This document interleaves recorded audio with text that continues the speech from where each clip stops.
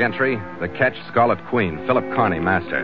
Position 5 degrees 5 minutes south, 120 degrees 3 minutes east. Wind light, sky overcast.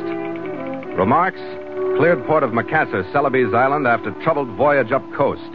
Reason for trouble tattooed beaver and baby food for pare pare.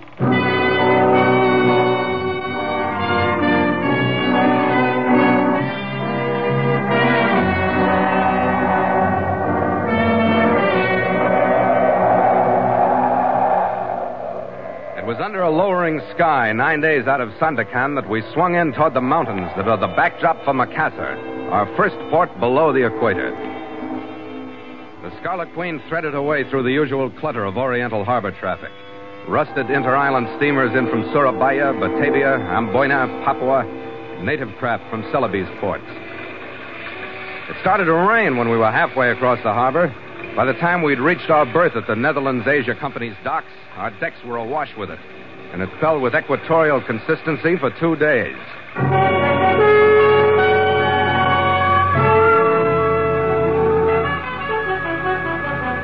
Hang's orders on Macassar had warned that the place was swarming with Constantino men, grouping because of our nearness to the prize Kang had chartered me to sail after. The orders were that unless we were contacted the first day, we were to leave and return every 24 hours. The first day passed without contact. So on the second, my chief mate Gallagher and I nosed into the city looking for a short cargo haul or something to make a trip out profitable. We didn't find it. But the third day started out to be better. We got a promise of clearing weather when the barometer started to rise, and the chance for a money trip when a visitor walked aboard the Scarlet Queen. I am Van Riper, master of the Loca Juliana. Ah, welcome aboard, Captain. I'm Phil Kearney. I see you berthed here. You are for charter? Oh, I might be. Good. I tell you about your passengers. Well, I'm not rigged for passengers. You are good enough. There are only two men and a married couple. Two cabins. They bought passage with me to Pare Pare, but now I don't go. I got a better offer, a cargo for Java. And you already signed for their passage? That is right. They are in a hurry to get there. One day up, one day back. I pay you myself. Two thousand florin. Hmm. Well, all right, Van Riper. Get them aboard. I'll want to leave this afternoon. You have the papers to sign. In this envelope, two thousand florins. They will be here in two hours. I signed the papers and watched him waddle off and disappear into the driving rain. Gallagher moved his gear into my cabin, and we made what preparations we could for the passengers and checked the chart for the run up the Celebes coast to Pare Pare. It looked like tricky sailing already, but when I read the barometer the last time before my passengers came aboard, I wished I hadn't signed them on. The mercury had risen all morning, but now it was falling rapidly. That and the lessening rain meant only one thing in these latitudes storm.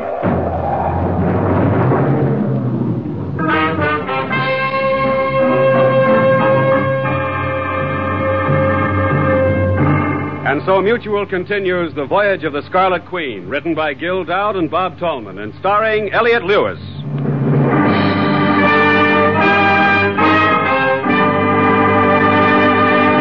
The Scarlet Queen, proudest ship to plow the seas, bound for uncharted adventure.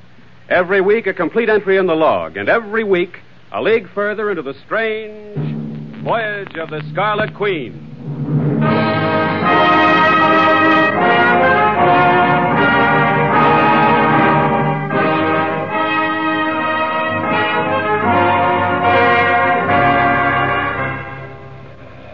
By the time the passengers showed up, even the harbor water was uneasy, stirred by the rolling swells that swept in from Macassar Strait.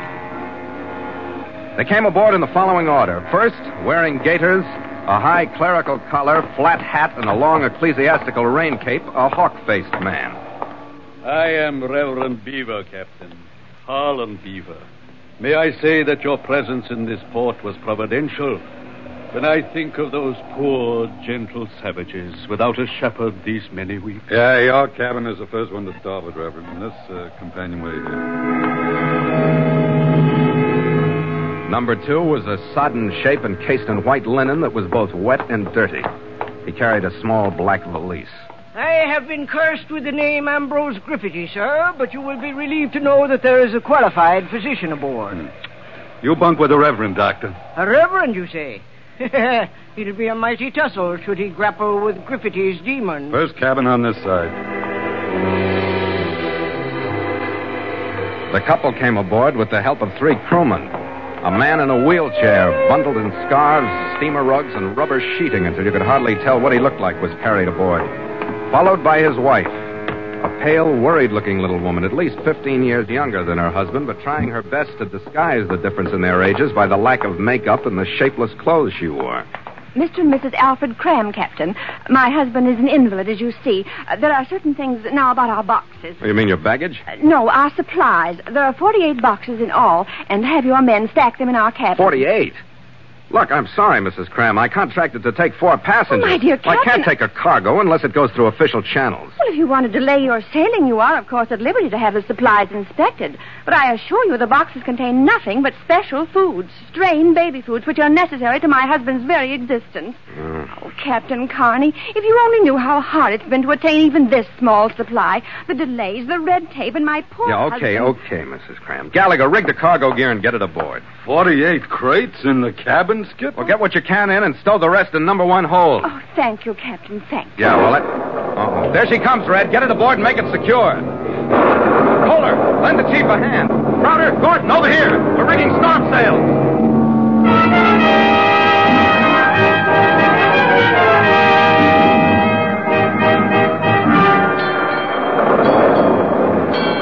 Three p.m.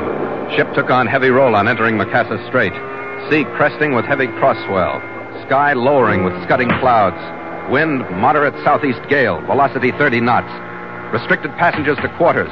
Double reefed mainsail and mizzen.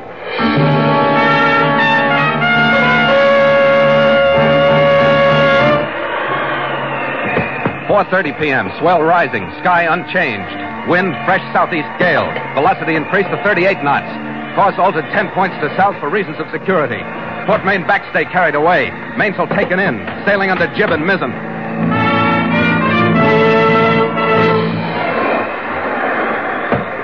8 p.m. Weather conditions unchanged. Ordered ship brought to for night and sails taken in. Keeping bow into storm with motor.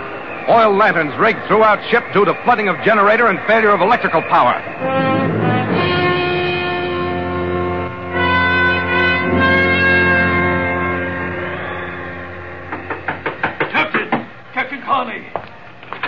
What's happened to the lights? Generator's been damaged, Reverend. The oil lights will carry us.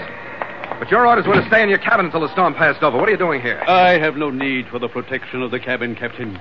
But for the sake of my native flock in Pare Pare, I must demand from you our position and the direction in which we are traveling. Our position is just off the Spermondes, and our direction is roughly north by west. Our fate is in your hands, Captain. So saying, I accuse you of the basest untruth. You reversed the direction of the ship, and in cowardice, you are retreating toward uh, Macassar. Reverend Beaver, if I could put about to Macassar, I would, but I can't. Our bow is to the storm, and we're losing way before it. Captain Kearney, I must reach Pare Pare. Well, we'll make it. when do you expect to resume your course? When it's safe to do it. I hope that will be soon, Captain. So do I. Now, will you please go back to your cabin, Reverend? I got work to do. As you command, Captain. As he left, his hawk like face was set in an expression that still could have been fear or anger or both. I started for the engine room to see what could be done about the generator. But before I got halfway across the cabin, I was faced by another example of the dwindling passenger discipline in the form of another visitor. This one was at least more pleasant, and he was still carrying his little black bag. Yeah, I see you've been blessed with a visit from my bunkmate. Aye, and a strange one he is, wandering about the ship the way he does. What about you, Griffity? What are you doing out of your cabin? I've come to share with you a startling bit of information. Oh? What is it? Griffity has been about some, Captain dear, but for the life of me, never can I remember seeing a hale and hearty man huddled into a wheelchair before tonight. What do you mean? Was making my rounds among the passengers, bringing them what help I could in the way of soothing words and medicaments, I quietly opened the door to the cabin of Mr. and Mrs. Alfred Cram. The gentleman was there alone, Captain, busying himself pacing the floor fore and aft. Now, what do you think of that? Yeah. Closing the door without giving him a sight of me, I left, returning after a proper time and using my knuckles on the door. Come in, he says, and there he was in his wheelchair. Is there any help I can give you, says I. Get out, says he. Nobody prescribes for me but my personal physician. And where might he be, I ask him. Get out, says he, stiffening in anger. So I left him, and there's the story, Captain. Yeah. What do you make of it? Nothing, Doc. It's none of my business. I got trouble enough of my own. Uh, I suppose you're right. Yet it strikes me as queer that a man would waste his time in a wheelchair when he can walk about. But you'll have to admit, Captain dear, it is a strange list of passengers you've got. That it is, Griffity. That it is.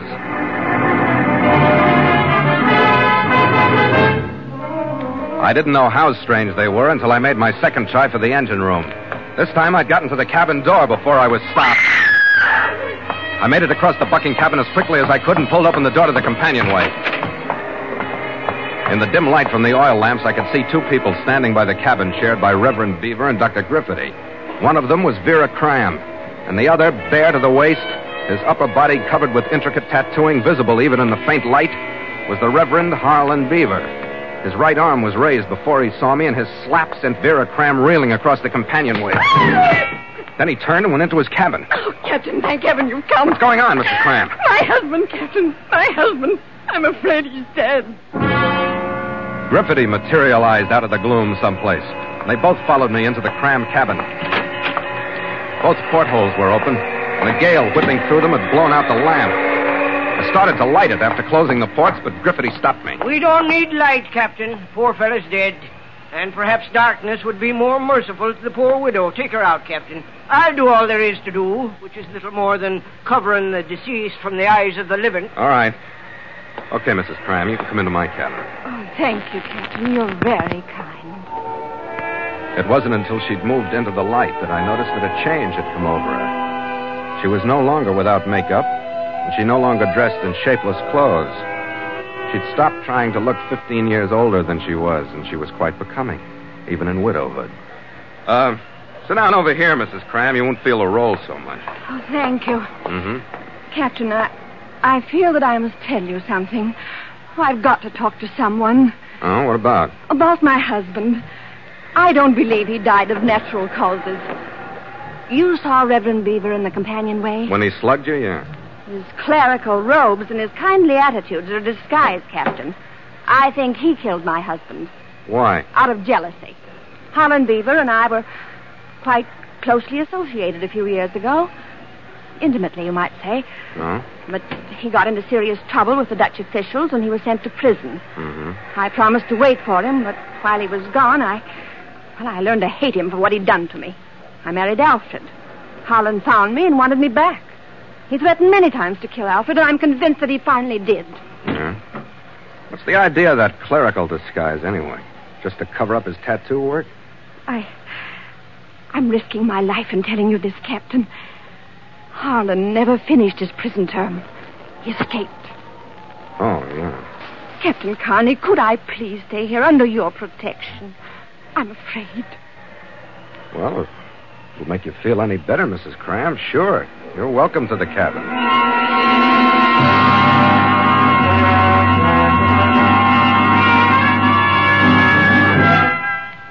By the time the overcast morning had arrived, the wind had dropped to a fresh, gusty breeze. We'd repaired the main backstay, and the Scarlet Queen plunged into the still heavy swells under sail again. We'd made a new course to Pare Pare. We were a half hour out, and I was just being relieved at the wheel when Griffithy walked aft to meet me. Uh, could I have a private word with you, Captain? Sure, Griffithy. How private? Mrs. Cram's in my cabin. Well, in the one recently vacated by her husband. Okay, come on. It's about Cram being killed instead of dying. I already heard it. Oh, did you now? And from whom, may I ask? His wife? Oh, how about it? It's the truth, Captain. He was poisoned. Uh, did she confess? No. She accused Beaver. The Reverend now. and what might have been gnawing at him to drive him to such lengths? The fact that he's not a reverend, he's an escaped convict. Ah. And jealousy over the woman from some past friendship. Aye, now, splendid. All the elements of drama, Captain dear. Yeah? Well, you can have it, Griffity. Sounds a little messy to me. you uh, don't approve of these people, Captain. Not especially. None of them turn out to be what they looked like in the first place. The invalid isn't an invalid. He doesn't die, he's killed. The mousy woman turns into a sweater girl. The reverend is an escaped convict. It's a pretty good average. Everybody but Griffity. He came aboard a villain, and by the saints, a villain he'll remain. Uh, but to the gist. Hmm? Uh, feeling a pang of hunger just before Cram departed and having a weakness for strained baby food myself, I went into the hold to get me a can. You got guts, Griffity, nosing around my ship. Hey, but I'm willing to pay for the liberty I took. Did you know, Captain Dear, that uh, you have a fortune on your ship? Or did I find it out? What are you talking about? Look here. Baby food. The can he held out to me had been opened. The label called it strained vegetables, but the can was filled with salt like white crystals. It wasn't hard to figure what it was or why Cram had been putting on the Invalid Act. Narcotics, Captain. A ton of the stuff, I should say. Now listen, Captain dear.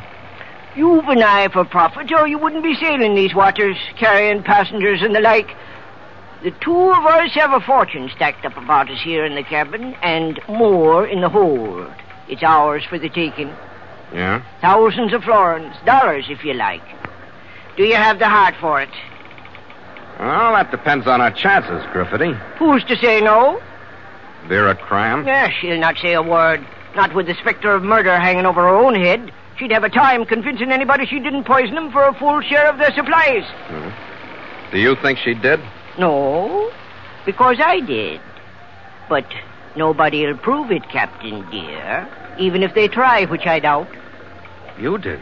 A few drops of poison in the oil of the lamp, Captain, after cutting the wires of the generator so we'd have the lamps. Death by absorption of the stuff. A trick developed by the Borgias, God love 'em, who used the wick of the candle for the same purpose. A handy thing to know. isn't it? Perfect conditions. Small cabin, no ventilation, with the ports closed against the storm, and Captain Dear, no evidence. The lantern I chucked over the side. what do you think of that? That's very neat, Griffity. I liked you better before I heard it, but it's very neat. You will join me in the venture? What's the deal? I simply face her with the truth.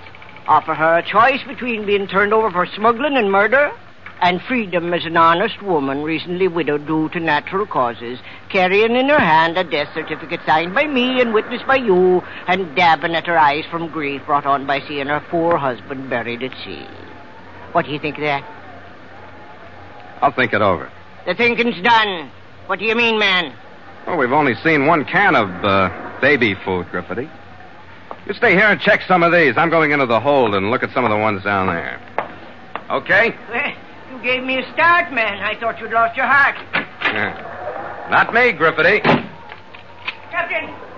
Captain! What have you done?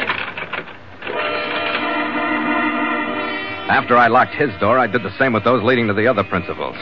If there was anything I didn't want to get mixed up with, it was the Netherlands Indies Customs. They're tough at best and even tougher on non nationals. I was going to turn over the whole shipload to the first official who'd take them. But I should have thrown them overboard and saved myself the trouble. Our hook hadn't been on the bottom of shallow anchorage off Pare five minutes before the pudgy little local regent had climbed out of his dinghy and stomped into the cabin. The arrival didn't surprise me, but what he had to say did. Captain Kearney, I have the pleasure to report that you are to be detained for the arrival of customs officers from Macassar. Oh, I thought I'd give you the news, Regent. I got 'em all locked up for you, and the contraband is just as it came aboard. You will receive no leniency for your late show of cooperation. Leniency? Why should I need leniency? Yeah, you asked me that, Captain. Yeah, I asked you that. I didn't know what I had aboard until a little over an hour ago. You ago. waste your time. That true story came from Macassar last night. What true story? That you loaded the cargo, Captain. It wasn't cargo, and I didn't know what it was. The passengers were transferred from another ship. Papers, baggage, yeah, supplies, yeah, and all. yeah, yeah, you tell me that. But I tell you, Captain Van Riper went to the customs. Captain Van Riper? Yeah. What does he know about it? He says the cargo was not on his ship. That he saw you and the Cram woman talking and that you took money from her. Ah, well, then it's a frame. A what? I don't know what you call it out here. It means Van Riper's lying. Why should he lie? To get me into trouble with customs. Hey, what company does he sail under, do you know? Yeah, It says on the message. Uh, uh, it is here. Um, do you read that? I don't have to. Constantino, isn't it? That is the name. Yeah, I thought so. Gallagher! Stay right down, Skipper. Never mind coming down. Up anchor. We're sailing out of here. Wait. Do you mean it, Skipper? Get moving, Red. Get us out of here. Stand by to up anchor. Nielsen, what was the that? Yeah, I know. Fatty. You're a big man around here, but I can't stand still for this one. Now, do you want a pleasant trip, or do I have to brain you? And don't think I'm not mad enough to do it. Don't try it. You resist the Netherlands Indies When government? it reaches for a gun, I guess we'll have to. Now, I warned you, Fatty. I'll warn you again. You be a good boy, or I'll lash you to a mast. You hear from the... I've heard enough already. Now, come on, get up on your feet and follow me around. Don't talk, just listen. You know, if you behave, you'll make yourself a name on this island. Come on.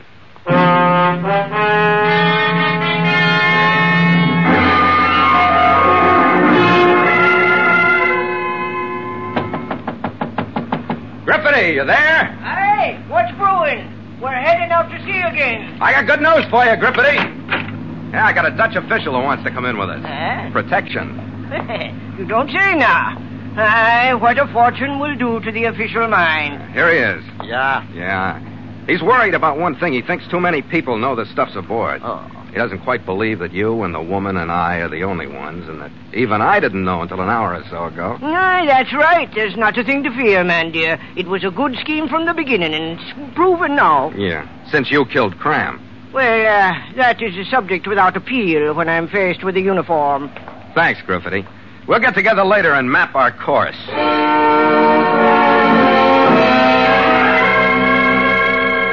After locking Griffity in his cabin again, I left the Regent in Gallagher's hands and called on Vera Cram. All I had was passion and greed to work with, but sometimes when they're stirred together, they're strong medicine. To her, I told the whole story up to but not including the meeting with Dutch law or its presence aboard. Then I went to the Reverend Harlan Beaver and told him the same, using only the truth, except in regard to one point. Because when I left him, he believed that Vera was not only denying him a share of the fortune in drugs as well as herself, but that she decided to share them both with Griffity. I led the Regent into my cabin, tucked him in a corner out of sight but within hearing, returned his gun to him. I stationed Red outside the passageway in case I needed him, and then I gathered the passengers. What is the meaning of this meeting, Captain? I contracted for passage to my mission in You can drop the act and take off the high collar, Beaver. We all know who you are. Vera. I had to tell him, Harlan, darling. I thought he'd help us. Help us what?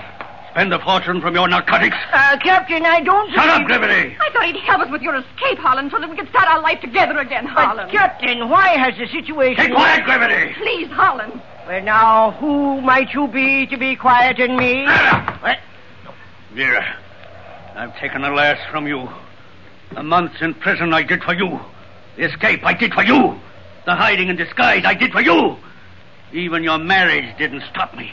But this has. What, Harlan? I don't understand. Don't lie to me. I'd only felt this way before. How easy it would have been. But I don't understand. After Cram is dead, and you decide to share what you are and what you have with Griffity, you don't understand that anything I felt for you has turned to hate. Griffity. What have you been saying, Griffity? I haven't been saying anything. No, of course you haven't. Why should you? Because I don't talk unless I think, Beaver, which is more than I can say for the two of you. But now I have thought, and I know why the captain has brought us here. Don't sight a gun, Griffity. It is the captain who thinks he will gain, but he won't. Harlan, no! The medicine almost backfired. Griffity pulled a revolver out of his pocket, pushing his chair back as he stood. He swung toward me, but Beaver's hate and jealousy were faster.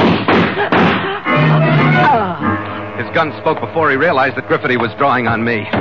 He watched Griffity's body slump to the floor, and while he did, the truth came to him. He looked up at me, started to raise his gun again. Then my Dutch ally in the corner opened up. Beaver's right shoulder jerked twice under the shocks. He spun slowly around and collapsed loosely onto the deck. He's not dead, no? No, I don't think so, but thanks anyway. Hey, Skipper, it work all right? Yeah, yeah, Red. You know, I think I set a record of some kind. I've been saved twice in as many minutes, once by an escaped convict and once by the law. Not bad, Skipper, not bad. Yeah, they will read about me in the newspapers in Macassar. Better than that, Fatty. You're going to make a personal appearance, because that's where we're going now.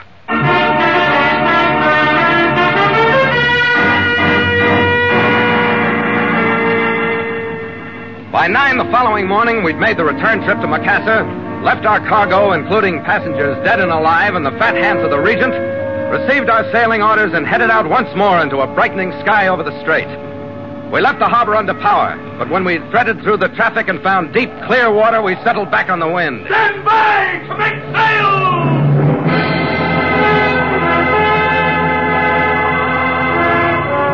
The water was brushed into whitecaps by the playful gusts that were all that remained of the storm. Starboard sheet! Make sail!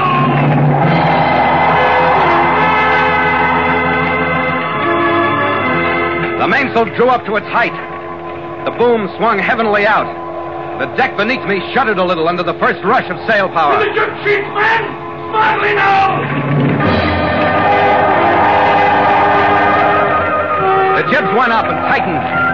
Then the mizzen. And the Scarlet Queen dug in, and the spray at her bow turned creamy with her speed, lifted into the air, blew to starboard like spindrift. A better departure than the last one, Skipper. Yeah, somewhat, mate. Now, we ought to set up a rule. No more passengers. They just mess up the ship. Well, they aren't all bad, Red. Oh, I don't know. Some of my best friends have been passengers. Well, how about smugglers? Well, all right, I'll go along with you there. We accept no more smugglers. Yeah, well, it's a relief to hear that. I know I'll sleep easier.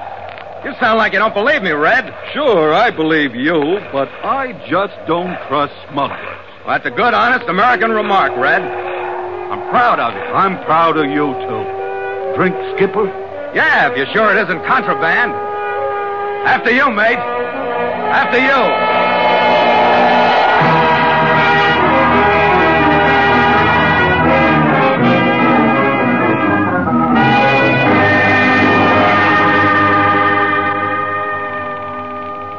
Log entry: The Ketch Scarlet Queen.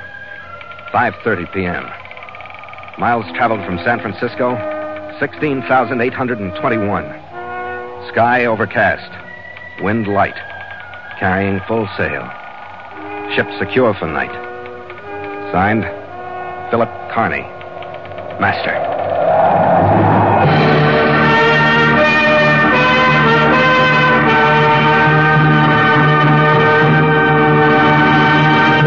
Voyage of the Scarlet Queen has come to you through the worldwide facilities of the United States Armed Forces Radio.